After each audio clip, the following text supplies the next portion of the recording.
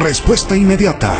Gracias a la excelente relación de coordinación entre el Gobierno Nacional y el Gobierno Municipal de Sucre, se garantizan 25 millones de bolivianos para cuatro unidades educativas en nuestro municipio. El presidente Evo Morales ha autorizado el financiamiento para la reconstrucción integral de la unidad educativa Aniceto Arce, procediendo la demolición de toda la infraestructura antigua y procediendo a la nueva construcción de esta unidad educativa. Sucre, municipio solidario.